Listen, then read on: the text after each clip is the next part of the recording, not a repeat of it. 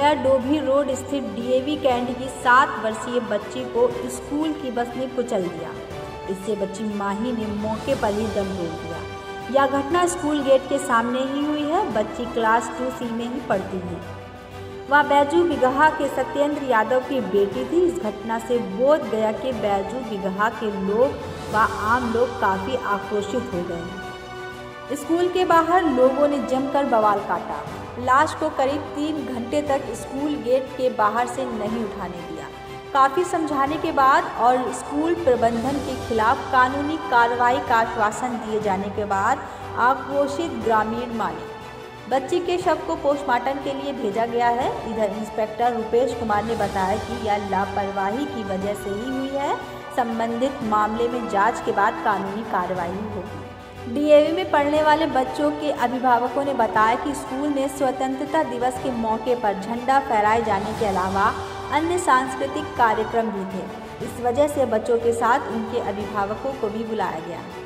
बताया गया कि माही अपनी चाची के साथ स्कूल आई थी। स्कूल में कार्यक्रम खत्म होने के बाद दोपहर को बच्चे स्कूल से बाहर निकलने लगे। माही व कुछ बच्चे स्कूल बस के फ्रंट के पास साइड में खड़े थे इसी बीच तीन बच्चे एक साथ बस के फ्रंट से होते हुए रोड की ओर जाने के लिए बढ़े ही थे कि बस ने तेज़ी से आगे बढ़ी और माही को अगले पहिए के चपेट में ले लिया और इसका सिर बुरी तरह से कुचल गया।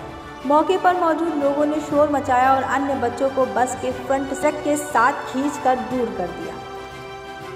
बच्चे की मौत होती देख आसपास खड़े लोग भर गए और बवाल काटने लगे।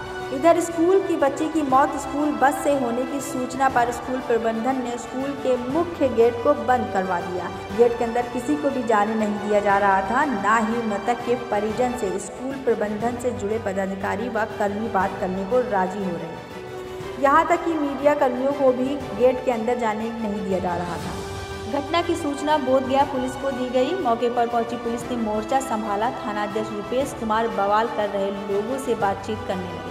मृतक के परिजन बस चालक और प्रिंसिपल की गिरफ्तारी की मांग पर अड़े थे। काफ़ी देर तक समझाने के बाद गुस्साए लोग माने पुलिस की ओर से आश्वासन दिया गया कि चालक की गिरफ्तारी हर हाल में होगी, साथ ही स्कूल प्रबंधन के खिलाफ कानूनी कार्रवाई भी होगी। घटनास्थल पर मौजूद मृतका के चाचा शक्ति कुमार ने बताया कि स्कूल से सूचना दी गई, एक्सीडेंट हो गया है, जब स्कूल पहुँचे तो स्कूल का दरवाज़ा खुलने के बाद उन्होंने देखा कि उसकी भतीजी माही कुमार 10 वर्ष की मौत हो गई और शव लावारिस अवस्था में पड़ा है। बताया कि यह घटना डीएवी स्कूल के बस नंबर 55 से हुई है। इसके लिए स्कूल प्रशासन दोषी है। ब्यूरो रिपोर्ट आई